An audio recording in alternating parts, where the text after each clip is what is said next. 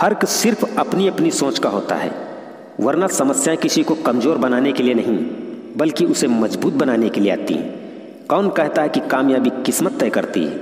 यदि आपके इरादों में दम हो तो मंजिल भी झुका करती है। इस ज़िंदगी के सफ़र में इंसान तब बड़ा हो जाता है, जब अपने आँसू पोछ कर वो खुद खड़ा हो जाता है। यहाँ हर इंसान के जीवन में हार और जीत, सुख और दुख, हानि और लाभ बराबर होते रहते हैं। ज़रूरी नहीं है कि एक बार हार गए तो हारते ही रहोगे।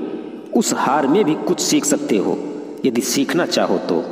आज करोड़ों लोगों के दिलों में राज करने वाले महान अभिनेता अमिताभ बच्चन की सुपरहिट मूवी जंजीर आने से पहले इनकी लगातार सत्रह मूवी फ्लॉप हो गई। फिर भी इन्होंने हार नहीं मानी।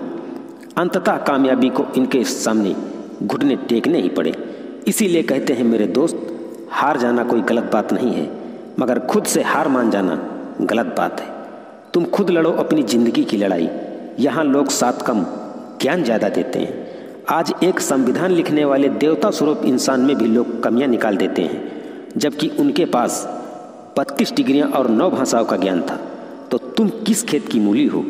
ये दुनिया का दस्तूर है जनाब। यहाँ सब कुछ हासिल किया नहीं जा सकता और हर किसी को खुश रखा नहीं जा सकता।